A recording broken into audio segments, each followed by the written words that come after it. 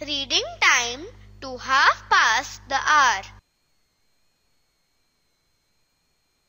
When the hour hand moves from one number to the next, it means one hour had passed.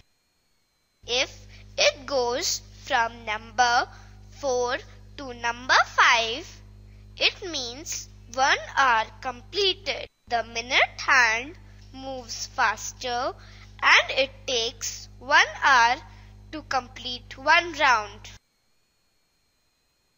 If it starts with 12 and comes back at 12, it means one hour is completed.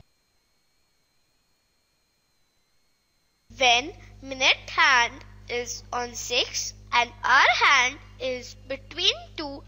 and 3, what time will it be?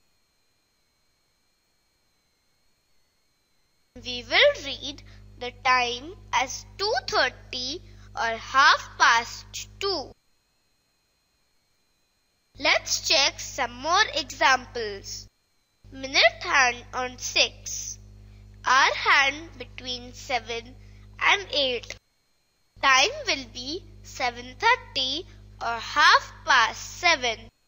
One more example. Minute hand on 6.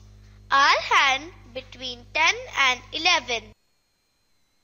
Time will be 10.30 or half past 10.